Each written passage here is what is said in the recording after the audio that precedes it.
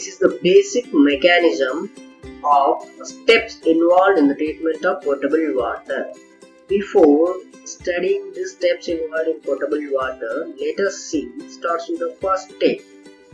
Before starting, before purifying, before treating the water, we must select the source of water from where we need to take the water. The source of water are what? Streams or rivers and lakes are the sources of waters.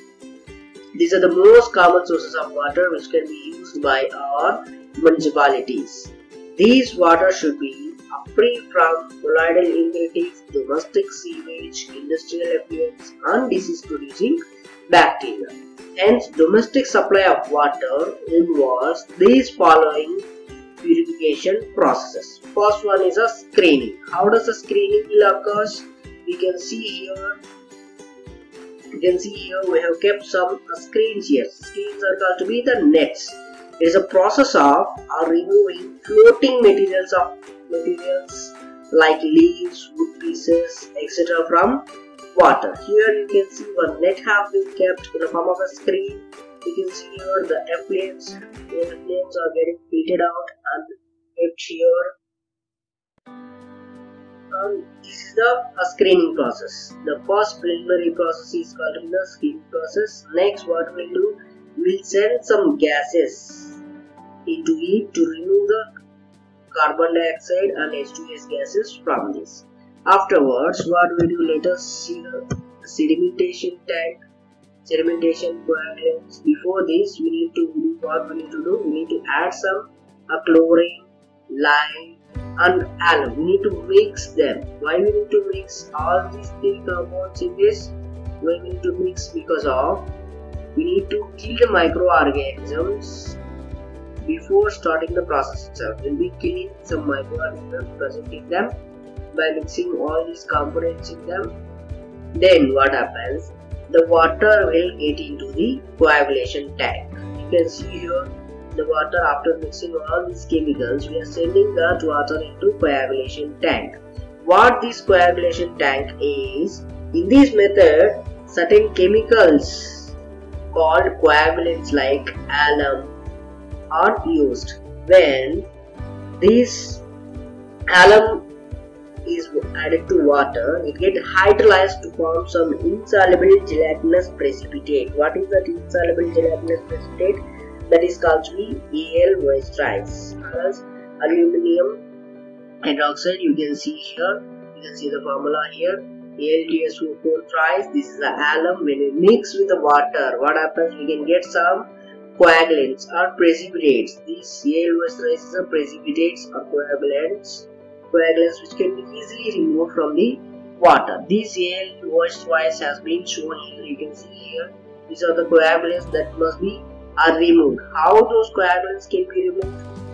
After completing after having those coagulants, what we do? We send that water into the sedimentation tank. In sedimentation tank, what happens? In this process, removing will be removing suspended impurities. How we can remove the suspended impurities? By allowing the water to stand undisturbed for about 2 to 6 hours in a big tank. Most of the suspended particles settle down at the bottom of the tank due to the force of gravity and they are removed. Sedimentation tank removes only 75% of suspended impurities. Okay, next what we'll do after completion, after removing the sediments from the water, coagulants from the water, we'll send that water into filtration tank. In this process, what happens? In this process, this is the process of removing bacteria, color, taste, odor by passing the water through filter beds containing fine sand, coarse sand, and gravel sand. Let us see what is a filtration tank. How does it could be? This is a filtration tank. You can see here. In this, what happens? The sand filters. These are the. These are all the sand filters. What are the sand filters? Fine sand, what coarse sand, fine gravel, coarse gravel. These are all the four different types of uh, beds. In this, what happens? The first one, the sand filter consists of a consisting of a tank containing a thick, thick top layer of fine sand followed by the coarse gravel, fine gravel and coarse gravel. The rate filtration decreases slowly due to the clogging of impurities in the pores of the sand bed. When the rate of filtration becomes very slow, filtration is stopped and thick top layer of fine sand is scraped off and replaced with the clean sand. Bacteria are also partially removed by this a process. After the filtration tank, what we do is we'll send those water into the disinfection tank. What we'll do in the disinfection tank?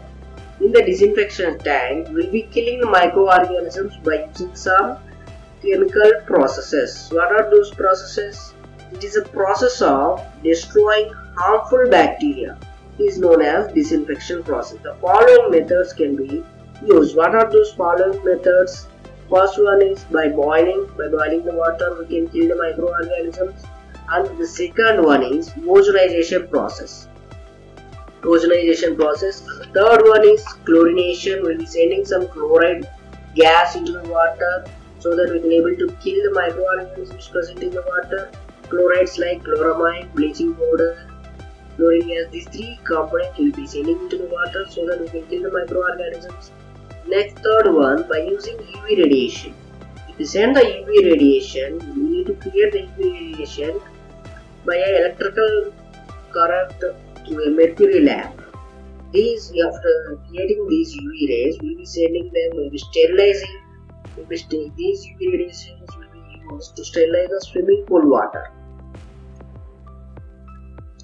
Next, the last one is by using bleaching powder, we can able to kill the microorganisms present in the water. This ozonization process, chlorination, these are all the processes I will explain in, the, in my next video.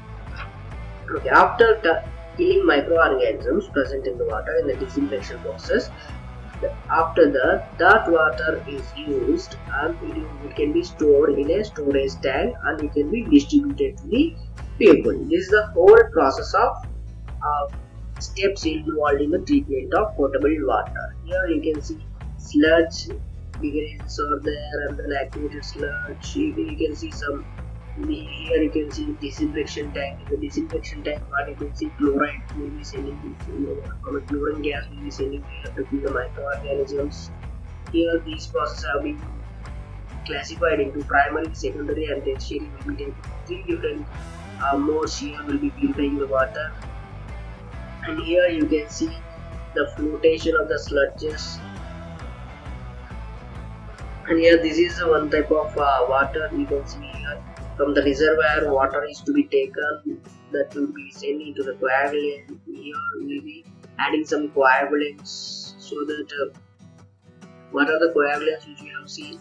Alum is a coagulant. If you add, alum into what happens we are able to get coagulants that will be added up with the calcium magnesium ions to form a coagulants. Afterwards we'll be sending that water into the population tank and that water will be sent into the sludge. In the sludge we have already seen we will be keeping the water undisturbed for about uh, 2 to 7 hours. That what happens? All the heavier uh, heavier molecules will settle down at the bottom of the layer. Here you can see sedimentation basin is given here all the sediments which will be over the lower level those will be collected separately. And upper level of water will be separated collected you lower level of water will be used for the other another purposes. That will be used for the horticultural purpose